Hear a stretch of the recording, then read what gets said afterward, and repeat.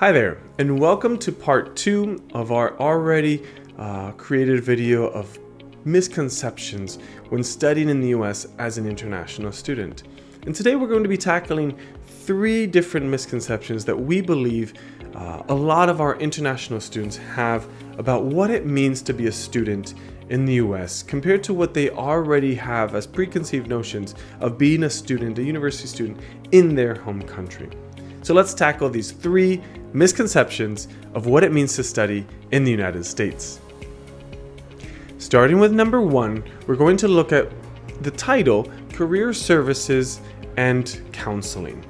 What does this mean? What is this misconception around career services or counseling? And it actually means, uh, or what we try to, to, to share with you today, is the idea of something that's not existent in Europe or limited at best, but something that has always thrived in the US system, something that has always been present and available. And that is the concept of the university being a product, being a service provider to its um, client, the student. So there are a lot of different ways the university tries to help their students. They try to give them guidance. They try to give them a student experience, as we mentioned before with the campus experience. Uh, they try to give them access to, to the professors, as we'll see in a minute. But they also try to give you a better future. The better your future is, the better you look and the better that looks on the university. So it's always, always in their best interest to keep you happy, but to keep you successful. And that's why they have career services to help give you guidance on what you can do to improve your uh, profile as a student, how to maybe uh, look at specific classes to to make your your curriculum stand out, how to write a perfect resume or CV. Uh, they even have sessions on on essay writing to make sure that your essays are coming out as well as possible uh, with your English as an international student. They have different um, interview uh, preparations for when you do go to job fairs and look into possible employment opportunities. They also have counseling sessions, whether it's mental counseling to make sure that you're staying mentally healthy, but also counseling around uh, if you're looking to maybe change your major, if you're having doubts about yourself and your future, you will have different student counselors to reach out to. Point number two, we want to title it Professor Engagement. And I always like to talk about this. It's something that definitely puts the US apart from many other educational systems in this in this world, um, and that is that the way that professors try to interact with their students, the way that professors are engaged in the classroom. Um, it's also about the formatting of those classes. On the one hand, you might have huge auditoriums filled with 200, 300, 400 students, all to watch what's called a lecture. And the lecture is a broad uh, presentation of a topic uh, and giving you perhaps the main details around that. It's a, it's a, uh, uh, uh, you know, sucking in all that and, and, and, and trying to take in all that information coming from an expert of that area. But then you break down those 200, 300, 400 students break down into small sessions, uh, typically one or two times a week and they have discussions, they have debates around that broad topic and starts narrowing down those different theories, those different ideas, uh, maybe contradicting opinions, uh, what interpretations you might have versus your peer. And that's where the professor uh, in the classroom will give you guidance, they'll give you ideas, they'll learn from you too. Uh, they'll create networking opportunities. A lot of times, uh, specifically in science related um, uh, majors, there is research being, being done. You're talking, you're debating about a live topic. And if your ideas are getting proven, if your ideas are noteworthy, you might be invited to participate in that research. You might be given even a scholarship to help as a research assistant. That's not uncommon.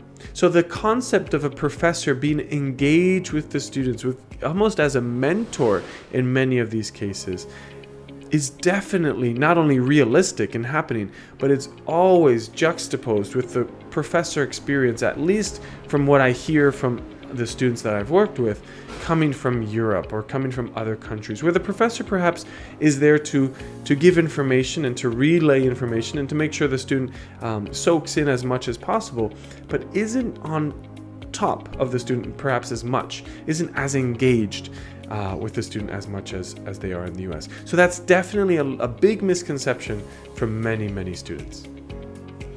Now, the last misconception, misconception number three, would have to revolve around the work opportunities. And I love to talk about this because it goes to show that the university is really invested in making sure that you don't quit. They want you to stay. Remember, it's almost like a business. They want you to be a solidified client. They want you to be there for the long haul, not just sporadically. So they're going to try to incentivize you in different ways to keep you on the campus. And that's coming from a multitude of ways. We've mentioned career services, we've mentioned counseling, we've, we've mentioned you know professor engagement. We've also mentioned mentioned in the previous video how you can have um, you know student uh, events or uh, you know university-led activities that they want to keep you satisfied and happy. And the last way they can do that is by giving you money.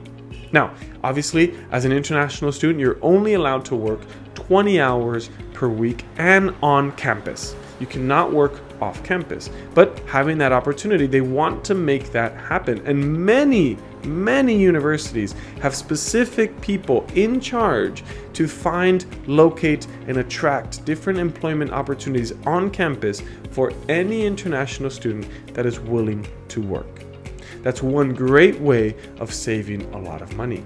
But is that the only way to save money? No.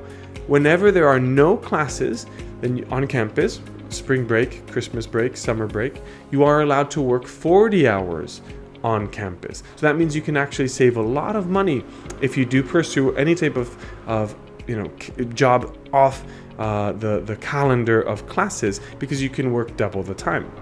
Not only that, if you want to pursue an OPT or an optional practice training um, uh, extension on your visa, you can stay in the US for one year working and earning a salary of your earning bracket. So that means you could save a lot of money in just one year. If you are STEM designated, that program is connected to science, technology, engineering, or math, that OPT can be extended two more years, making a total of three years of possible work in the US. So there are a multitude of, of ways to reduce your costs apart from uh, any type of scholarship, any type of assistantship uh, within the research area or the department um, that is needed with your help. There are so many ways to reduce your costs that it just makes studying in the US so much more entertaining or fun or looking, you know, looking to, to grow personally and grow um, educationally but without losing sight of the economy of your finances. And trying to make that happen is always a key component of studying in the US. So if you want to learn more about these topics, if you want me to, to give you more insights and more knowledge, then feel free to reach out for a free consultation with ePro 360. Uh, and thank you very much for watching this video.